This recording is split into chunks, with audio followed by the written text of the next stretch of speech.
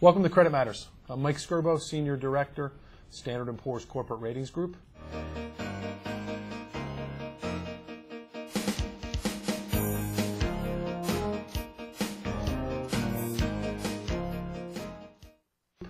Today we're going to talk a little bit about the turmoil in the Middle East and what impact this could have on rated tanker operators. I'm joined by Funmi Afonja, who's a director in our transportation team based here in New York. Thanks for joining. Thank you, Mike. Let's first talk a little bit about obviously the Suez Canal is pretty important to shipping oil and, and refined products. Maybe provide some context, provide some color to that. Sure.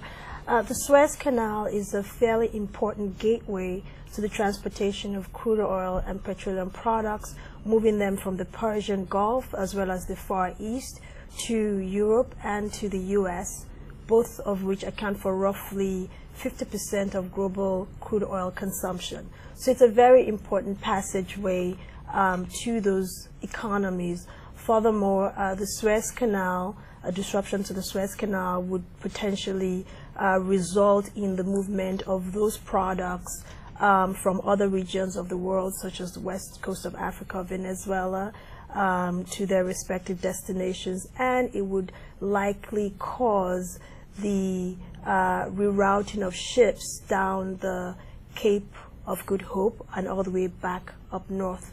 Um, and rerouting those ships, of course, puts them into uh, smack in the middle of uh, pirate water territories, which then creates yet another set of uh, potential problems. But on the flip side, um, it does provide some opportunity for tanker operators because of the longer ton mile traveled and the potential for increased utilization and so forth. So, so maybe there. So you're saying a potential disruption to the canal could potentially benefit tanker operators? Absolutely, so without maybe, maybe provide some. Just clarify that. Sure. The way it will work is, is, is this hypothetically. If there's a disruption to the canal, mm-hmm. vessels will then have to find an alternative route. Most likely they would have to travel down the coast of Africa, down the coast of Cape of Good Hope to try to make it to Europe or to the US. What that invariably means is that those ships are going to travel uh, longer ton miles, which actually takes out excess capacity from the market increases vessel utilization and then supports tanker rates. So in a roundabout way, it's actually quite beneficial if there's a sustained disruption to the canal to tanker operators. Interesting. I want to. I want to also. Uh, you mentioned something about pirates. Yes. uh, ongoing risk of, of pirate um, attacks or, or, whatever, uh, a seizing of ships. How has it impacted ship operators, and who's paying for the rising operating costs of this ongoing risk? Absolutely. Well, the rise of the Somali pirates, as they are often called, is something that has increasingly become a problem within the tanker uh, sector. Uh, pirates are becoming more brazen, uh, they are using more force, and that's creating a whole new slew of costs that tanker operators now have to contend with.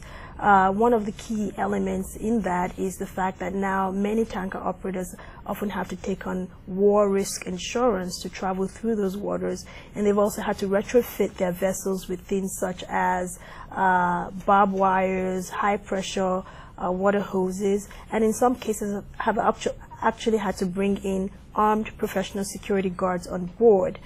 In some circumstances, um, operators have been able to uh, transfer some of those costs to their customers, but in some circumstances, they actually have to bear the cost. Keep in mind that the most um important cost variable for a tanker operator is fuel. And as many of these tanker operators have to make a longer voyage down the Horn of Africa to get to their respective destinations, um, they now are having higher fuel costs. So, as an example, um, the average cost of bunker fuel uh, is now at about $600 a ton, and a year ago that was at about $450 a ton. Um, depending on the kind of charter coverage that a, uh, an operator might have, um, in, in case of a time charter, they are actually able to pass those costs directly to their customers.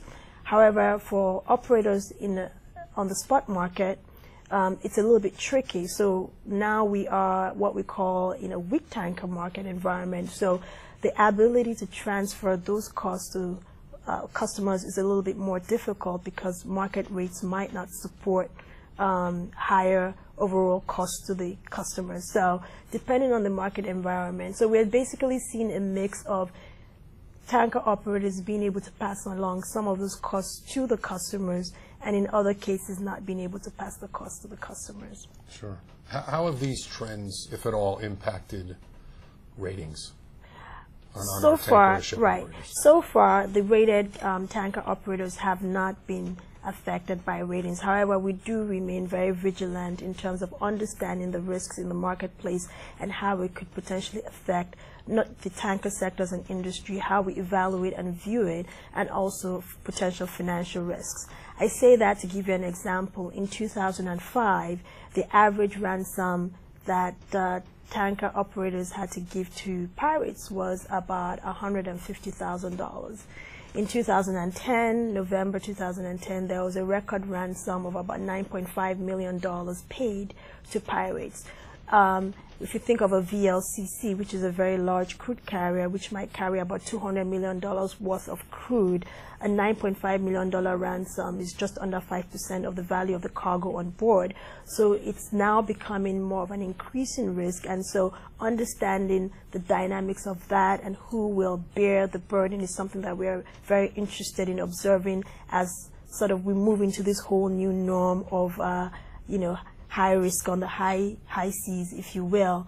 Um, so, but fortunately, thus far, our rated operators have not been affected, and we continue to monitor developments not just with the pirate situation, but in Egypt, as well as other geopolitical risks that could affect tanker operators. Oh, Well, appreciate you joining. Thanks. Thank you, Mike. We'll see you again next time.